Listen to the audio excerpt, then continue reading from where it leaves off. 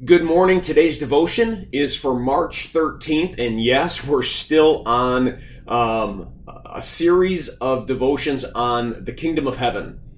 And today we're looking at Matthew 25. Matthew 25 has three parables, and each of them is about the last day. The first one is the parable of the bridesmaids. Five of them are foolish, and five of them are wise. And it says in Matthew 25, at that time, the kingdom of heaven will be like ten virgins who took their lamps and went out to meet the bridegroom. Five of them were foolish and five were wise. The foolish ones took their lamps but did not take any oil with them. The wise, however, took oil in jars along with their lamps. He says, at that time, the kingdom of heaven will be like. Well, at what time? At the end times.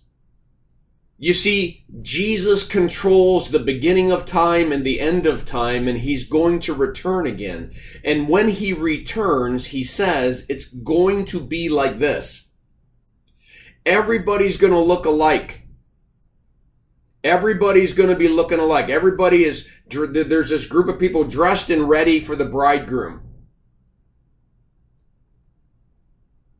Five of them are foolish and five are wise. They all look the same, but five don't have oil for their lamp.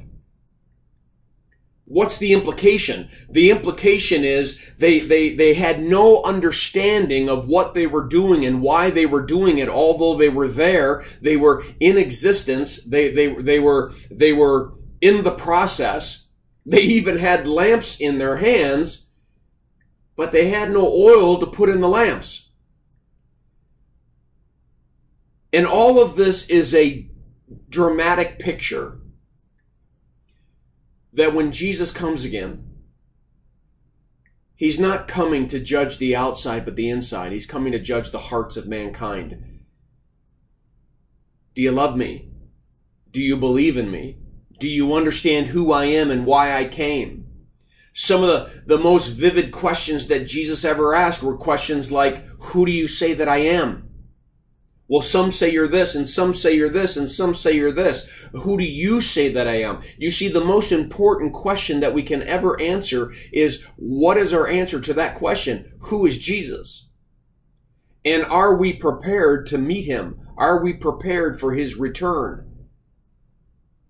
Are we just busying our lives, going around doing this and doing that and building homes and raising kids and raising money and paying off debt and doing this and doing that? And before you know it, all this stuff that we're living in is going to cease and there's going to be an eternal kingdom that we never paid attention to and we were never prepared for. Let's make sure that we have oil in our lamps. Let's make sure that from the inside out, we're prepared not only to live this life, but prepared for eternal life. Well, I pray that this devotion is a blessing to you. I encourage you to read the, the devotion that's attached and have a firmly rooted day.